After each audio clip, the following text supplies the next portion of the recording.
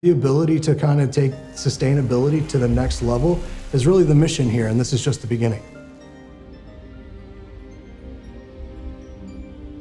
Solar power is easy. I think most people are kind of like, wait, what? Wow, you're using the sun. The ability to be outdoors and harness something completely different is really this is all this is about.